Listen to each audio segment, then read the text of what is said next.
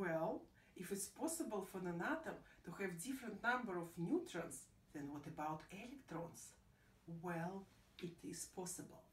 But once an atom get an extra electron or lose one, the net charge is not zero anymore, so it's not neutral. So we cannot call it atom anymore. Well, we call it ion. From Greek word ion meaning going. So electron going in or out of an atom. And so ion is defined as electrically charged particle due to the loss or gain of one or more electrons.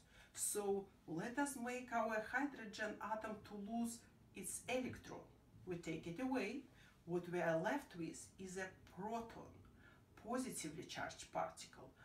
So what we got is positively charged ion of hydrogen. And when you see plus sign next to the in the upper right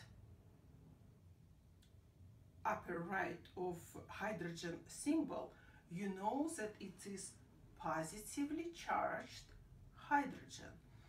And they even got a name for, in general, for positively charged ions. They call it cation. And it's from Greek word kato, meaning down. So you take one electron down and it's defined as an ion with fewer electrons than protons, so positively charged ion. Well, let us return our stolen electron back to our hydrogen.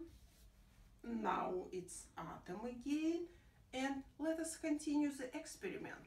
Let us let us make hydrogen atom to gain an electron.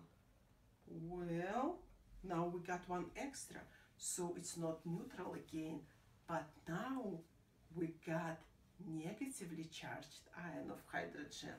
And similar way when you see minus sign, you know that it's negatively charged ion of hydrogen.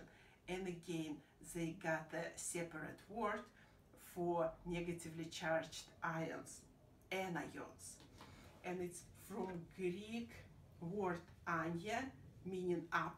So you put up extra electron and is defined as an ion with more electrons than protons. So negatively charged ion. So alrighty, we got anion and cation. And for whatever reason, I never can remember which one is which. So while I hate mnemonics, but for these ones I had to come up uh, with uh, ones. So for cation, because there is word cat in it, and usually when people think about cats, they are smiling, so positive emotion. That's how I remember that cation is positively charged ion. Similar way with anion, because the spelling is kind of close to onion, was by pronunciation is different. When people cut onions, they're crying, so it's negative emotion. So that's how I remember that anion is a negatively charged ion.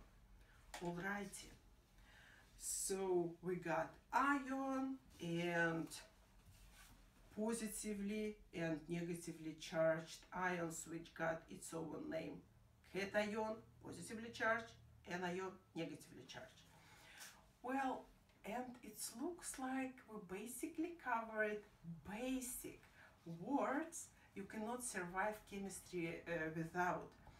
We know what element is, we got atom, we covered proton, neutron, electrons, which is atomic structure, we figure out isotopes and ions, we got familiar with periodic table of the elements and we know that this number is atomic atomic number and this one is atomic mass but there is one more our notorious electron configuration formula which we are planning to tackle down But this kind of animal we're gonna tame down in the separate video. So we'll see you soon.